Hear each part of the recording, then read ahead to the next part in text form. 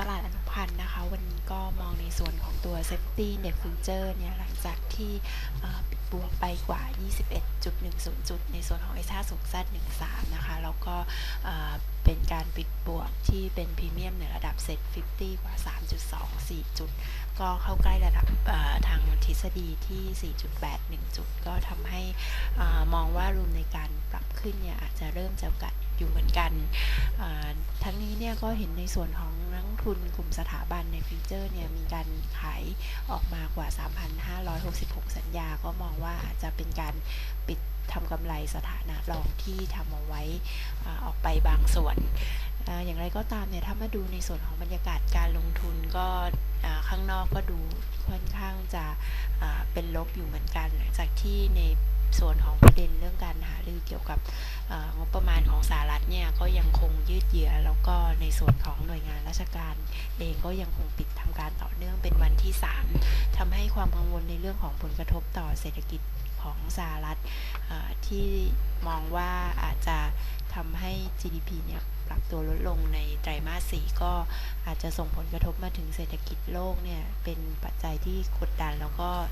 กระตุ้นแรงขายทำกำไรในส่วนของตลาดหุ้นทั่วโลก แต่อย่างไรก็ตามเนี่ยก็คงยังต้องติดตามความคืบหน้ากันต่อไปในสัปดาห์หน้า ส่วนภายในเองเนี่ย มองว่าวันนี้คงรอดูในเรื่องของคำวินิจฉัยของสารรัฐมนูญต่ออร่างงบประมาณปี 57 ว่าจะขัดรัฐธรรมนูญหรือหรือเปล่าก็คงดูว่าช่วงเช้านี้เนี่ยถ้าผ่านไปได้ก็อาจจะกลับมาเป็นแรงผลักดันให้ในส่วนของตัว Safety แล้วก็ Safety เด็กฟิวเจอร์เนี่ยมีโอกาสที่จะขยับขึ้นต่อ แต่ว่าในช่วงเช้าเนี่ยมองว่ามีโอกาสที่จะเปิดย่อลงไปก่อน แต่อย่างไรก็ตามเนี่ยน่าจะจ 962 ถึง 965 จุดสำหรับในส่วนของ S50 Z13 แล้วก็ยังคาดหวังว่าแรงซื้อของนักทุนสถาบันยังจะช่วยประคองอดาวไซด์อยู่ส่วนหนึ่งแม้ว่าในส่วนของ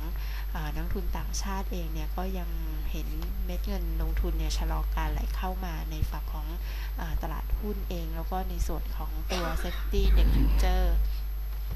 ดังนั้นเนี่ยจึงแนะนำให้ทยอยทำกำไรในส่วนของสถานะรองเดิมที่เปิดเอาไว้เมื่อวาน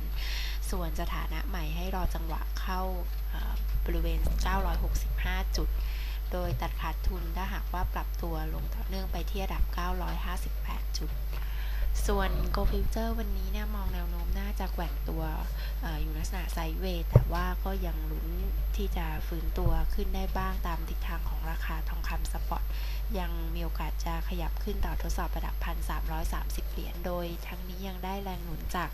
การอ่อนค่าของดอลลาร์สหรัฐเทียบกับสกุลเงินสำคัญในตลาดโลก แล้วก็มุมมองในเรื่อง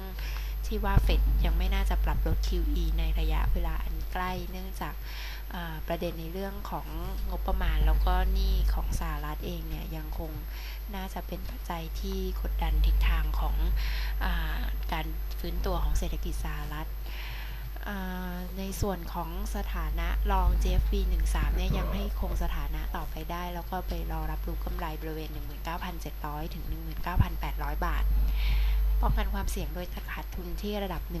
19,300 บาท ส่วน Brent Crude Oil Futures เนี่ยวันนี้ก็ยังมองการแกว่งตัวเหนือระดับ 3,380 บาทได้ต่อเนื่อง แม้ว่าในส่วนของราคาน้ำมันเองเนี่ยเมื่อขยับขึ้นไปในระดับ 109 เหรียญก็เผชิญแรงขายทำกำไรออกมาอีกครั้ง แต่ว่าในเรื่องของความคาดหวังต่อการฟื้นตัวของเศรษฐกิจในแถบยูโรโซน แล้วก็ในส่วนของการขยายตัวของเศรษฐกิจจีนจะยังช่วยหนุนอยู่บางส่วนหลังจากรายงานตัวเลขในภาคการบริการเนี่ยออกมาค่อนข้างสดใส รวมถึงในส่วนของดอลลาร์สหรัฐเองที่ยังร่วงลงต่ำสุดในรอบ 8 เดือนเทียบกับตะก้าสกุลเงินสำคัญในตลาดโลก ก็ช่วยจำกัดในส่วนของดาวไซด์ของราคาน้ำมันดิบเบรนในช่วงนี้แม้ว่าในเรื่องของความวิตกต่ออุปสงค์น้ำมันของสหรัฐจะเข้ามาเป็นแรงกดดัน ดังนั้นยังให้ถือสถานะลอง BRV 13 ต่อได้เพื่อไปรอทำกำไรบริเวณ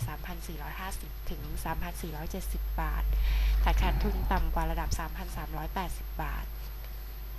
ส่วน USD Future วันนี้มองแนวโน้มก็มี มีแนวโน้มที่จะแกว่งตัวค่อนข้างผันผวน อาจจะขยับขึ้นไปได้ก่อนตามทิศทางของค่าเงินบาทที่ช่วงเช้านี้เนี่ยอ่อนค่าลงแต่ระดับ 31.30 บาทต่อดอลลาร์สหรัฐ แต่ว่า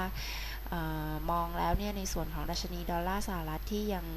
คงอ่อนค่าลงต่อเนื่องเนี่ยน่าจะส่งผลให้การขยับขึ้นในระหว่างวันเนี่ยเป็นไปอย่างจำกัด แล้วก็ในส่วนของแรงขายของนักทุนต่างชาติในตลาดบอลเนี่ยยังต้องตามดูต่อหลังจากขายออกมาต่อเนื่อง 2 วัน โดยเมื่อวานเนี่ยขายออกมาอีก 1,161 ล้านบาท